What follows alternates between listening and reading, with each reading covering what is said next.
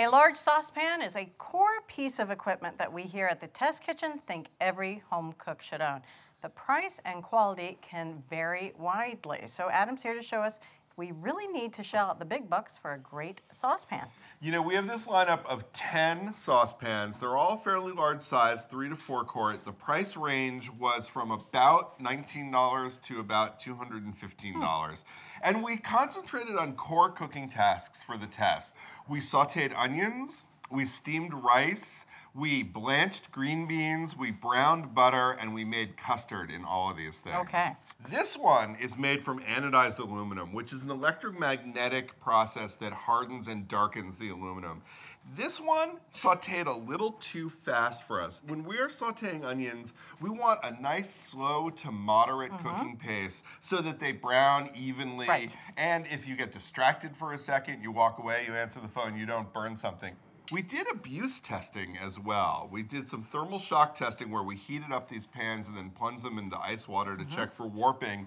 And we took them out back and bashed them against a concrete ledge three times. Our neighbors were so happy. Oh man, were they. Some of them survived better than others. This one, not so much. you can see, didn't survive that well. Also, we got a loose handle on this. So we got dents, scratches, and a loose handle. Not good. Not good. Let's talk about this one now. This one has a construction called disc base, which means that just the base of the pan, just the underneath, is a sandwich of three metals. It's aluminum in the center with stainless steel on the outside and the inside. But the walls of the pan are just stainless steel. And what testers encountered with this is that right where the disc base and the thin stainless steel walls of the pan met, they would get some burning, custard overcooked, mm. onions over browned.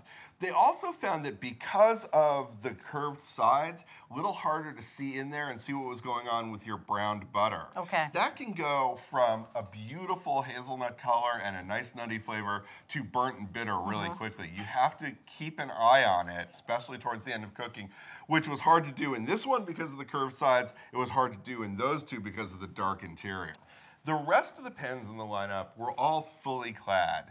And that means that those three layers of metal on the bottom of this one run across the bottom and up the sides. The entire body of the pan is bonded three or more sometimes layers of metal. Okay. These pans tend to be a little more expensive, but that construction is really designed to heat evenly reasonably quickly, and we like it a lot. Mm -hmm. But we did have problems with some of these guys. They can get really heavy. So, Bridget, why don't you pick that one up and tell me what you think?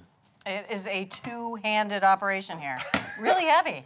That pan is four pounds, 12 ounces, empty. Really hard to hold up when you're pouring from it. There is nothing in there, you're right. and when you are holding it up to pour from it steadily, or holding it with one hand and scraping something out with a spatula, that's a lot of weight to handle. It is a lot of weight, yeah. Definitely. Yeah. This guy had a problem because this handle, which is sort of comfortable but mm -hmm. a mm-hmm. little short, got really hot during Very cooking. close to the pan. Yeah. yeah. Didn't like that one so much. Then we get to this pan, which I know is going to be familiar to you. Very much so. This is the All-Clad. This is a terrific pan. This is one testings before. We've used them in the test kitchen for almost two decades. Check out this handle. Very comfortable. It's got that cupped shape that kind of anchors it right. in your hand. Right. It didn't get too hot. It feels like holding a good tennis racket. Exactly. and so this is our winning saucepan, Bridget. This is the All-Clad stainless four-quart saucepan from not a cheap pan. It's $179.13. So we actually named a Best Buy, which okay. has also won previous testings. This Cuisinart Multi-Clad Unlimited four-quart saucepan with cover, $65.12 for this one. But you know what? Its performance was pretty pretty good, and for that kind of price difference, we're happy to recommend this one as well. Well, there you go. Our winner is the All-Clad stainless four-quart saucepan, and the price is $179 and 13 cents. Thanks for watching America's Test Kitchen. What'd you think? Well, leave a comment and let us know which recipes you're excited to make, or you can just say hello. You can find links to today's recipes and reviews in the video description. And don't forget to subscribe to our channel. See you later. I'll see you later.